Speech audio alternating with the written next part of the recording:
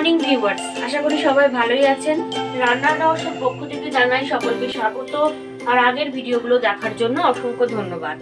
আজকে আমি আবারও হাজির হয়ে গেছি আপনাদের কাছে দুটো স্ন্যাক্সের রেসিপি আজকের রেসিপি হচ্ছে আলুর চপ ও পেঁয়াজি। আমি চেষ্টা করি আজকের ব্যস্ততার দিনে খুব কম সময় রেসিপিগুলো আপনাদের কাছে তুলে ধরতে। তাই প্লিজ ভিডিওটি না স্কিপ করে প্রথম থেকে শেষ পর্যন্ত দেখুন। তো আর দেরি না করে এই আলুর চপ আর পেঁয়াজি বানাতে আমাদের কি কি লাগছে, এবার এগুলো দেখে নেওয়া যায় এখানে প্রথমে আলুর চপ বানাতে লাগছে, হচ্ছে আমি তিনটে আলু সেদ্ধ করে নিয়েছি। আর এখানে দু কাপ বেসন নিয়েছি, বেসনটা আমার আলুর চপেও লাগবে আর পেঁয়াজিতেও লাগবে। আর এখানে নিয়ে নিয়েছি হাফ কাপ মতন বাদাম, এখানে আছে কুচনো কাঁচা লঙ্কা, লবণ, লঙ্কার গুঁড়ো, হলুদ গুঁড়ো, জিরে গুঁড়ো, আদা গ্রেট করা, খাওয়ার সোডা আর কালো জিরে। তো প্রথমেই আলুর চপের প্রিপারেশনটা আমি করে নিচ্ছি। তো সবার প্রথমে আমি এই আলুগুলোকে, সেদ্ধ করে রাখা আলুগুলোকে একটু ম্যাচ করে নিচ্ছি। এইভাবে আমি সেদ্ধ করে রেখেছিলাম, একদম ঠান্ডা করে নিয়ে তারপরে ম্যাশ করছি। এইভাবে আমি ম্যাশ করে নেব। আলুটা আমি ভালো করে ম্যাশ করে নিয়েছি। এবার যে কাঁচা বাদামগুলো আছে, সেই বাদামগুলো আমি একটু ভেজে নেব। আমি ওয়ান স্পুন মতন তেল দিয়ে নিয়েছি, তেলটা গরমও হয়ে গেছে। এবার এই বাদামগুলো আমি একটু ভেজে নেব। একটু লাল করে ভেজে নেব। লাল করে ভেজে নিয়ে জাস্ট একটু আধ ভাঙা করে নেব।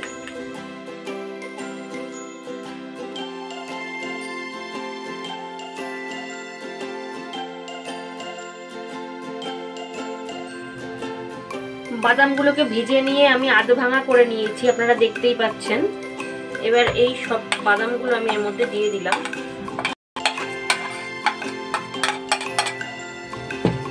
আর দিয়ে দেবো এবার মশলাগুলো। এখান থেকে আদা বাটাটা পুরোটাই আমি দিয়ে দেবো। এখানে হাফ টিস্পুন মতন আদা বাটা রয়েছে। দিয়ে দিলাম। আর দিয়ে দেবো হচ্ছে হাফ টিস্পুন মতন হলুদ গুঁড়ো। আর শুকনো লঙ্কার গুঁড়ো। হাফ টিস্পুন মতন। কোনো বেশি দেবো না, কাঁচা লঙ্কা যেহেতু দেব। আর হাফ টিস্পুন জিরে গুঁড়ো। এইখান থেকে দেব কিছুটা কাঁচা লঙ্কা কুচো করা আর লবণ স্বাদ অনুসারে। আপনারা চাইলে একটু চিনি দিতে পারেন, কিন্তু আমি সব রান্নায় চিনি পছন্দ করি না, তাই জন্য আমি চিনি দিচ্ছি না। আমি এটা খুব ভালো করে মেখে নেব। হাত দিয়ে আমি মেখে নেব ভালো করে।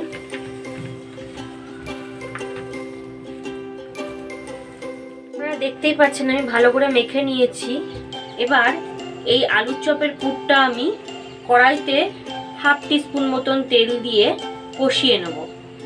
কষালে কি হবে? আদার যে কাঁচা গন্ধটা থাকবে, সেটা চলে যাবে। কড়াইতে আমার তেল ছিল, যে বাদামটা ভেজেছিলাম আলুর চাপার জন্য, সেই তেলটুকু একটুখানি ছিল, ওই তেলটাতেই হয়ে যাবে, বেশি তেল লাগবে না। বেশি তেল লাগ দিলে পুরটা নরম হয়ে যাবে বেশি। এবার আমি ওর মধ্যে এই পুরটা দিয়ে দিলাম। দিয়ে ভালো করে আমি কষিয়ে নেব।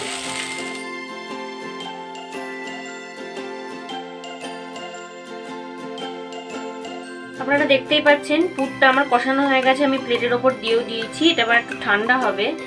এটা ততক্ষণ ঠান্ডা হোক, এবার আমি পেঁয়াজির প্রিপারেশনটা করে নেব।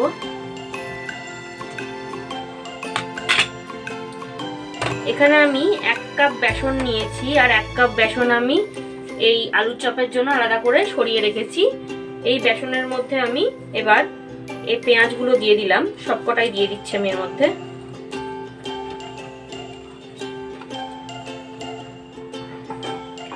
এবার এর মধ্যে আমি মশলাগুলো দিয়ে দেবো। কাঁচা লঙ্কাটা দিয়ে দিলাম। কাঁচা লঙ্কা, লবণ, হাফ টিস্পুন মতন, কিছুটা কালো জিরে,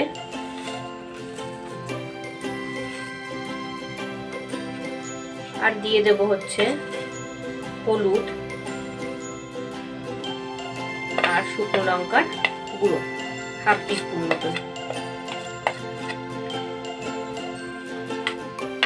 দিয়ে এবার আমি সব কিছু ভালো করে মিশিয়ে নেব।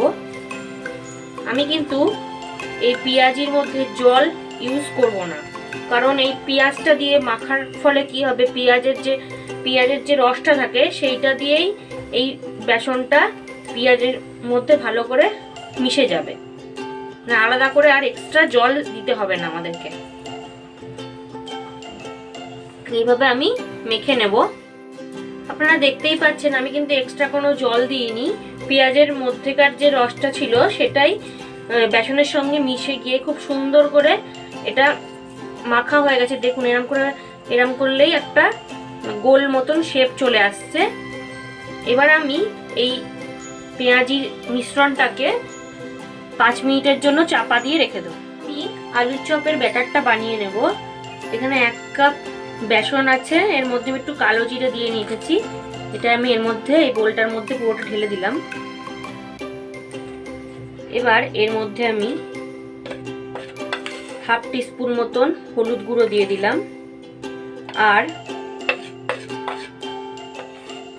হাফ টিস্পুন মতন খাওয়ার সোডা বা কুকিং সোডা দিয়ে দিলাম। দিয়ে আর দিয়ে দেব স্বাদ অনুসারে একটু লবণ। এবার এই ড্রাই ইনগ্রিডিয়েন্টসগুলো আমি ভালো করে একটু মিশিয়ে নিলাম।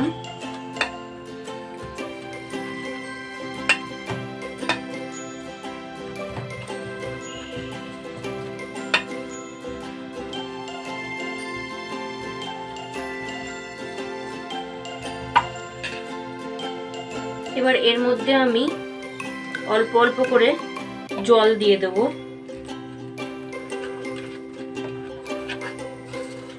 খুব বেশি একবারে দেব না, তাহলে পাতলা হয়ে যেতে পারে।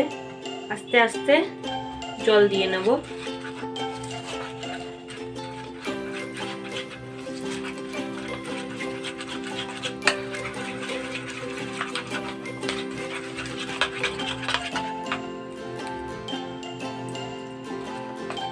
এইভাবে আমি ব্যাটারটা রেডি করে নেব। আলুর চপের ব্যাটারটা আমি রেডি করে ফেলেছি। দেখুন, খুব কিন্তু আমি পাতলা করিনি। মোটামুটি পাতলা রয়েছে। আপনারা দেখতেই পাচ্ছেন, আমি আলুর চপের পুর থেকে ছটা পুর গোল গোল করে নিয়েছি। এবার আমি হাত দিয়ে আর একটু ভালো করে গোল করে নেব। গোল করে নিয়ে একটু ময়দার গুঁড়ো ওপর দিয়ে আমি একটু ছড়িয়ে দিলাম। এইভাবে ছড়িয়ে দিলাম, দিয়ে হাতের সাথে এরম প্রেস করে নেব। এরম প্রেস করে দিয়ে দেখুন এরম ভাবে করে নেব আমি।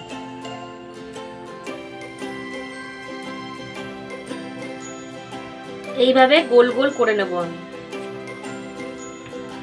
বাকিগুলো এইভাবে ঠিক একই পদ্ধতিতে আমি বানিয়ে নেব। এরম করে হাত দিয়ে চেপে চেপে গোল গোল করে নিতে হবে।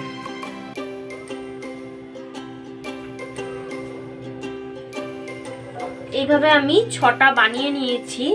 এবার আমি এগুলো ভেজে ফেলব। ঠিক একইভাবে এই পেঁয়াজিগুলো হাত দিয়ে চেপে চেপে এইভাবে বানিয়ে নিয়েছি। আপনারা দেখতেই পাচ্ছেন। এইভাবে আমি বানিয়ে নিলাম। এবার এইগুলোও আমি ভেজে ফেলব। আমি তেলটা গরমে বসিয়ে দিয়েছি। তেলটা একদম মিডিয়াম আছে রেখেছি আমি। দেখুন, এবার আমি আলুর চপগুলো ভেজে ফেলব। ওই গোল করে রাখা আলুর চপগুলো এবার আমি এই যে বেসনের যে কোটটা রয়েছে, এর মধ্যে আমি ডুবিয়ে নেব।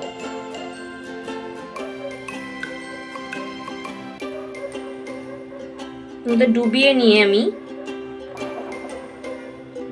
এইভাবে ছেড়ে দিলাম।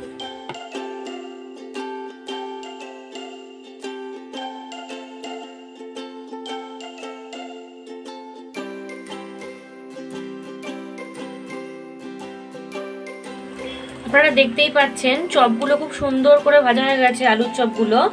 এবার আমি আলুর চপগুলো তুলে নেব।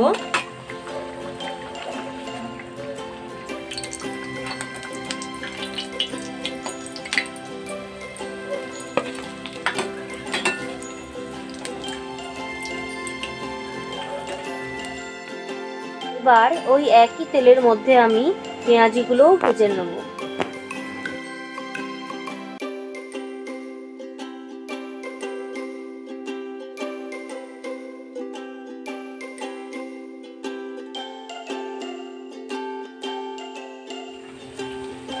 দেখতেই পাচ্ছেন, পেঁয়াজিগুলো মোটামুটি আমার ভাজা হয়ে গেছে। সব কটা নয়, যে কটা ভাজা হয়ে গেছে সে কটা আমি তুলে নিচ্ছি। আর বাকিগুলো আর একটু ভাজা হবে।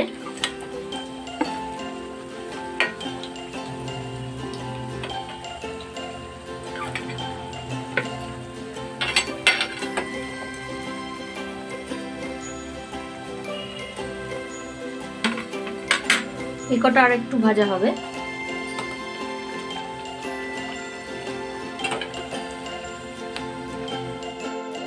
আপনারা দেখতেই পাচ্ছেন, পেঁয়াজিগুলোও ভাজা হয়ে গেছে আমার, এগুলো এবার আমি তুলে নিচ্ছি। তো বন্ধুরা, আলুর চপ আর পেঁয়াজি আমার ভাজা কমপ্লিট।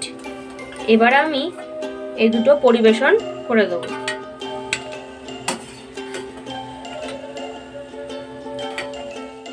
বন্ধুরা, আলুর চপ আর পেঁয়াজি আমার রেডি আপনারা বাড়িতে ট্রাই করবেন। আর যদি ভালো লাগে তাহলে অবশ্যই জানাবেন।